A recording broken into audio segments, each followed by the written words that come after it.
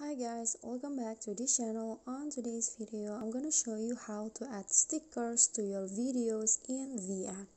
So here I've already added a video to my VN editor page and if you guys want to add stickers, it is so easy. You can just click on the tab to add sticker here, click on that and choose sticker and then here you just need to choose the sticker that is provided by the VN for example there is arrow sticker.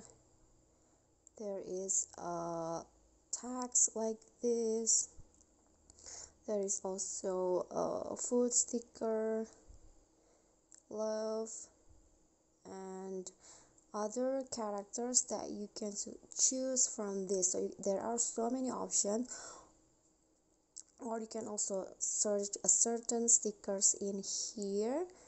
Or you can also upload your stickers on your own. For example i want to add stickers about uh, green.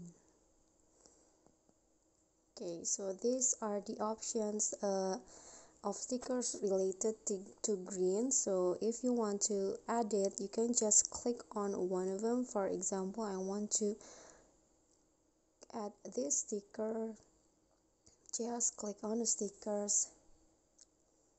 And the sticker will be added into your video like this and you can adjust the size of it or the uh, position.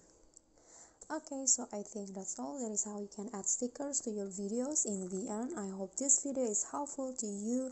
Please don't forget to click on like leave a comment and also subscribe. See you on the next tutorial. Bye